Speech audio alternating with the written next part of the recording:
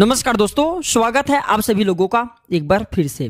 दोस्तों, शरद पूर्णिमा के दिन चंद्रमा 16 कला से परिपूर्ण होता है, अर्थात केवल एक वर्ष में आज ही के दिन चंद्रमा 16 कलश से परिपूर्ण होते हैं, अर्थात इस दिन अपने आभा से युक्ता होते हैं। देखिए, चंद्रमा 16 कलश से परिपूर्ण होते हैं, इसलिए आज के दिन जो भी उपाय करते हैं, अगर आप किसी भी पेड़ पौधे की जड़ को आज के दिन ला करके अगर आप चाँद की रोशनी में रख देते हैं तो वह पेड़ पौधे की जड़ जागृत हो जाते हैं। बिना किसी मंत्र, तंत्र, बिना किसी उच्चारण के वह जागृत हो जाते हैं। आज के दिन ही समुद्र मंथन हुआ था, समुद्र, अर्थात आज के दिन समुद्र मंथन से अमृत निकला था। इसलिए आज के दिन चाँद की रोशनी में अमृत की वर्षा भी होती है। आज ही के दिन माँ लक्ष्मी इस संसार में आई थी, अर्थात समुद्र मंथन से उत्पन्न हुई थी। आज ही के दिन भगवान श्री कृष्ण रास रचे थे।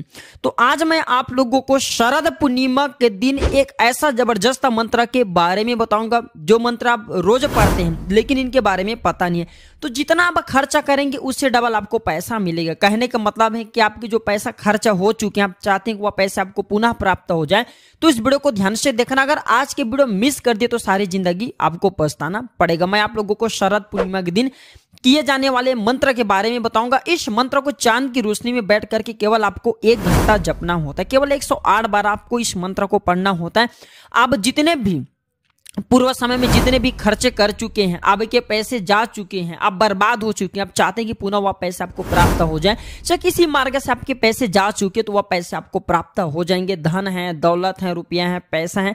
यहाँ तक कि अब से जो चीज़ इस संसार ने छीने, वह सारी चीज़ आपको प्राप्त होना शुरू हो जाएँगे। अगर आप, आज के वीडियो दर्शकों, अगर आप जो है आज की वीडियो मिस कर देते हो तो सारी ज़िंदगी पछताना पड़ेगा। ऐसे जानकारी पूरे यूट्यूब में कोई नहीं बताने वाले। देखिए, प्राचीन ज्ञान चैनल का मकसद है जनहित एवं जन कल्याण करना। मैं अपने इस प्राचीन ज्ञान चैनल के माध्यम से आप सभी दर्शकों को वह सरल से सरल, आसान उपाय बताता हूँ, जिस उपाय से आपका भला हो, आप सभी लोगों का कल्याण हो। आप हमारे वीडियो को देख करके कोई भी उपाय करते हैं, उसमें आपको लाभ मिलता है तो हमें भी पुण्य की प्राप्ति होती है, हमें भी खुशी मिलती है। हम हर दिन बोलते हैं कि आप हमारे वीडियो को देख रहे हैं तो आप हमारे विवर्ष नहीं है, आप हमारे दर्शक नहीं, बल्कि आप हमारे परिवार के हिस्से हैं। जो भी समस्या, जो भी कठिनाइयाँ बिल्कुल आप हमें कमेंट करके पूछें, आपकी मदद की जाएगी। देखिए, आज मैं आप लोगों को जानकारी बता रहा हूँ जनहित एवं जन कल्याण करने के लिए अगर कोई व्यक्ति इसका दुरुपयोग करेंगे तो इसमें दुरुपयोग करने वालों की ही नाश है। कोई भी जो जानकारी होती है जन कल्याण के लिए बता, बताए जाते हैं। जैसे कि जो कुएँ होते हैं, लोगों के प्यास बुझाने के लिए बनाए जाते हैं, लेकिन कोई निर्बुद्धि जाकर के उसमें आत्महत्या करता है तो उसमें उसका दोष है। इसलिए मैं आप लोगों को बता रहा हूँ, जो जानकारी बता रहा हूँ, आप सभी की गरीबी, निर्धनता, जीवन में चेहरे परेशानी तथा अब के जो पूर्व समय जितने भी धन संपत्ति आपने लुटा चुके हैं, बर्बाद हो चुके हैं, आप चाहते हैं कि वह सारे संपत्ति आपको प्राप्त हो जाए, इसलिए मैं आप लोगों को सारी चीज़ को आज के इस वीडियो में आप लोगों को जानकारी को बता रहा हूँ। वीडियो को ध्यान से देखना। हमारे चैनल का मकसद है जनहित एवं जन कल्याण करना। देखिए, आपने रामचरित मानस के बारे में ज़रूर सुना होगा। रामचरित मानस इतना बड़ा मंत्र सागर है जिसकी आप कल्पना नहीं कर सकते। इसमें जितने भी दोहे हैं, सोठे हैं, छंद हैं, चौपाई हैं, ये सब मंत्र हैं, लेकिन लोगों को इसके बारे में पता नहीं होता। रामचरित बहुत बड़ा मंत्र का सागर है। रामचरित मानस के प्रत्येक चौपाई एवं छंद, जो सोठा है, दोहे सब मंत्र हैं। भगवान शंकर ने माता पार्वती को स्वयं बताया तुलसीदास जी कहते हैं कि देखिए ध्यान से सुनना अगर कोई भी व्यक्ति तुलसीदास ने स्वयं कहे हैं जी हाँ तुलसीदास ने स्वयं कहे हैं, अगर कोई भी व्यक्ति रामचरित मानस के कोई भी मंत्र को उठा करके जिस उपदेश के लिए जपते हैं, बिल्कुल ही उस उपदेश की पूर्ति होती जीवन में चाहे आपकी परेशानी दूर होगा, कष्ट एवं बाधा वो भी मिट जाएँगे। धनलक्ष्मी की प्राप्ति होगा, नौकरी रोज़गार की प्राप्ति होगा, इच्छा पूर्ति की प्राप्ति होगा, हर समस्या, हर असंभव कार्य को भी संभव कर सकते रामचरित मानस में इतना ज़्यादा आपको मंत्र मिलेंगे। रामचरित मानस के अपने सिद्ध मंत्रों के बारे में ज़रूर सुना होगा। इसी क्रम में आज मैं आप लोगों को एक ऐसा मंत्र के बारे में बता रहा हूँ, जिस मंत्रों को केवल आपको 108 बार 108 बार आपको शरद पूर्णिमा के दिन जपना है। आपके पूर्व समय में जितने भी पैसे खर्च कर चुके हो, सारे पैसे आपको प्राप्त हो जाएँगे। किसी न किसी माध्यम से वह पैसे आपको प्राप्त हो जाएँगे। इमरजेंसी में आपको पैसे की ज़्यादा ज़रूरत है। तो मैं जो मंत्र बताऊँगा, इस मंत्र को पढ़ने से आपको इमरजेंसी में अगर ज़्यादा पैसे की ज़रूरत है तो कोई व्यक्ति पैसे ला करके भी देगा। अदृश्य शक्ति आपकी मदद करेगा। इससे पहले मैं आप लोगों को कुछ जड़ी बूटी के बारे में बता दूँ जिससे अगर कोई भी व्यक्ति शरद पूर्णिमा के दिन ला कर के अपने घर की तिजोरी में रखते हैं तो बिल्कुल ही आपके दिनहीन दुख, तकलीफ़, परेशानी सारे सब समाप्त हो जाते हैं। सर्वप्रथम मैं आप लोगों को साधारण जड़ के बारे में बताऊँगा। चलिए। ऐसा कहा जाता है आज के दिन। ध्यान से सुनना, अगर कोई भी व्यक्ति अंकोल की जड़ लाते हैं जी हाँ रात्रि कालीन में चांदनी की प्रकाश में, चंद्रमा के प्रकाश में अंकोल नाम की जो पौधा होते हैं, इसे पार्वती का स्वरूप माना जाता है। इसके जड़ लाते हैं और इसके जड़ को अगर आज के दिन चंद्रमा की रोशनी में और लाल वस्त्र बिछा करके चंद्रमा की रोशनी में आप इसे कम से कम दो से तीन घंटे के लिए रख देते हैं तो ये जागृत हो जाते हैं। फिर इस प्रकार के जड़ को अगर आप अपने आँखों में, नेत्र में अगर आप जो काजल की तरह लगाते हैं किसी भी, अगर जैसे कि रबी पुष्य नक्षत्र आते हैं, उस दिन आप जो इसे काजल की तरह लगाते हैं। तो आपके आसपास में रहने वाले दिव्य शक्तियाँ दिखाई देने लगती हैं। जैसे कि दिव्य शक्ति में बहुत से लोग बोलते हैं, ना भूत प्रेत देखना चाहते हैं गुरुजी, या फिर देवी देवताओं को देखना चाहते हैं। जो ग्राम के देवी देवता होते हैं, शहर के देवी देवता होते हैं, वहाँ पर स्थित निवास करने वाले देवी देवता। अगर आप चाहते हैं कैसे देवी देवता आपको दिखाई दे तो इसके जड़ को घीस करके रवि पुष्य नक्षत्र दिन लगा लेना। लेकिन आपको जड़ खन करके कब लाना है? आज ही के दिन लाना है, शरद पूर्णिमा के दिन। दूसरा उपाय बता रहा हूँ, ध्यान से सुनना। आप आपको करना क्या है?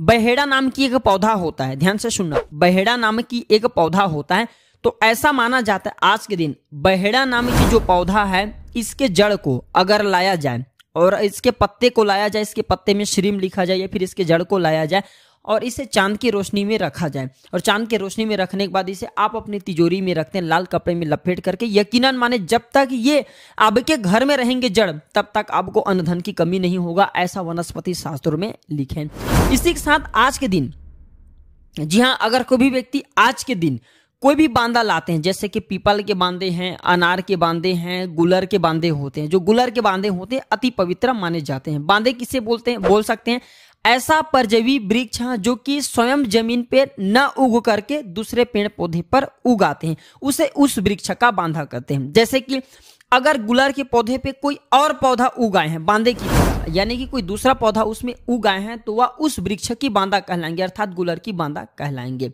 बांधा में मिट्टी भी लिपटा होता है। तो एक काम करना, गुलर की बांधा आपको सौभाग्य से अगर आज के दिन गुलर की बांधे मिल जाते हैं तो ले आना और इस बांधे को चाँद की रोशनी में रख करके आप अपनी तिजोरी में रख सकते हैं।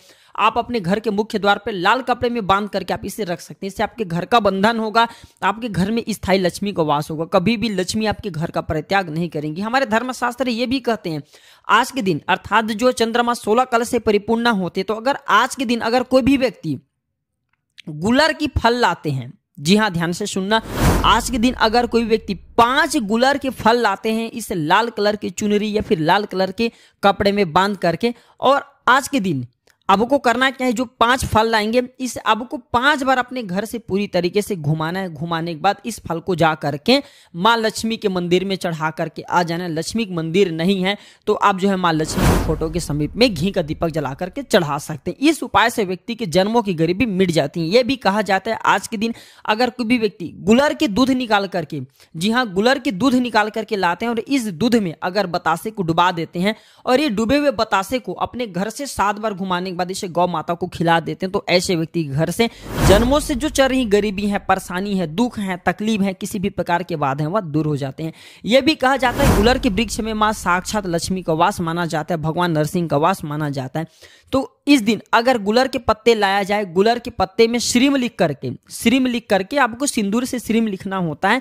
तो सिंदूर से श्रीम लिख करके अगर धन पेटी में रखा जाए, चाँद की रोशनी में रखने के बाद आपको धन पेटी में रखना होता है तो ऐसा माना जाता है। आजीवन आपके घर धन दौलत से परिपूर्ण बने रहेंगे, जो छोटे छोटे उपाय होते हैं व्यक्ति की अध्यात्म उन्नति करने में, व्यक्ति की तरक्की करने में काफ़ी मदद करते हैं। चले मैं आप लोगों को रामचरित मानस के एक सिद्ध मंत्र बता रहा हूँ, जिस मंत्र को अगर आप जो चाँद की रोशनी में, अर्थात जो शरद पूर्णिमा के दिन। एक नीचे में स्वच्छ आपको वस्त्र बिछा लेने या फिर कोई आसनी ले लेने या फिर आप जो है कंबल का भी आसन बना सकते हैं। और इससे आपको चाँद की रोशनी में खुले आसमान में आपको जपना होता है। आप जो अपने घर के छत में भी बैठ करके ये मंत्र जप सकते हैं। लेकिन इस मंत्र की जब की संख्या होता है एक सौ आठ।